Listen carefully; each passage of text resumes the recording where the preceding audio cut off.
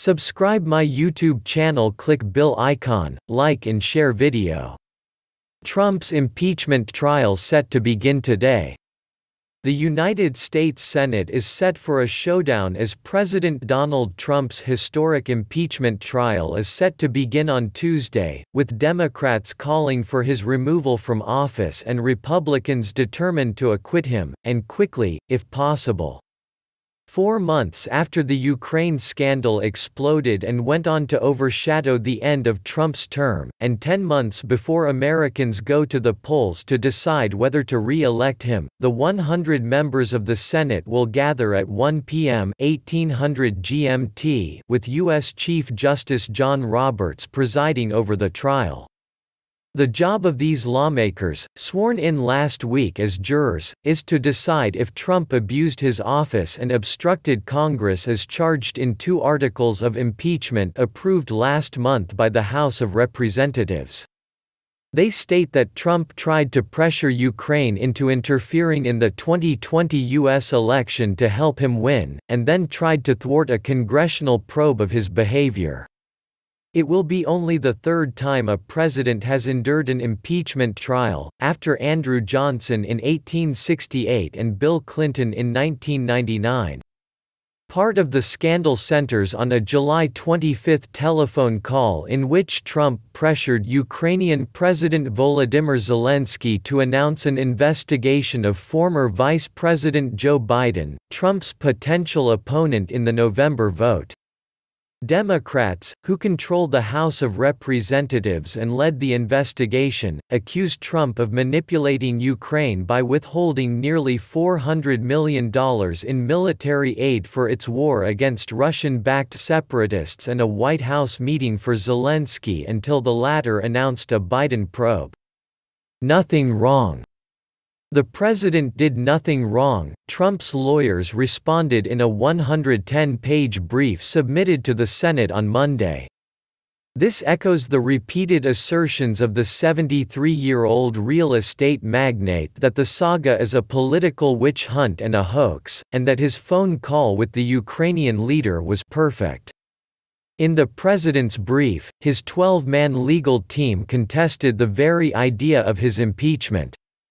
They called the two articles of impeachment, approved largely along party lines in the Democratic-controlled House, the product of a rigged process and constitutionally deficient on their face because they involved no violation of established law. That team, which has recruited high-profile lawyers such as Kenneth Starr, who tried to bring down Clinton over his affair with Monica Lewinsky, said in the brief, the Senate should reject the articles of impeachment and acquit the president immediately. Worst nightmare President Trump abused the power of his office to solicit foreign interference in our elections for his own personal political gain, thereby jeopardizing our national security, the integrity of our elections, and our democracy, the House managers said on Saturday in a memorandum. They said the president's behavior is the framers' worst nightmare, referring to the authors of the U.S. Constitution, and that Trump deserves to be removed from office. But Trump looks almost certain to be acquitted because of the 53 to 47 Republican majority in the Senate.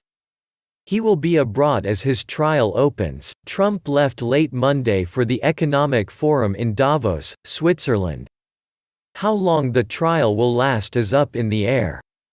The first order of business on Tuesday will be to set the rules, such as how long they will hear the arguments of the House managers, or prosecutors, how long they will hear the defense, the time allotted for questions, submitted by the senators but read by Roberts, and whether they will call witnesses or seek other evidence. Senate Majority Leader Mitch McConnell late Monday proposed rules calling for each side to have 24 hours over two days to present their arguments. That makes for long trial days stretching late into the night but is a significantly quicker pace than in Bill Clinton's impeachment trial in 1999.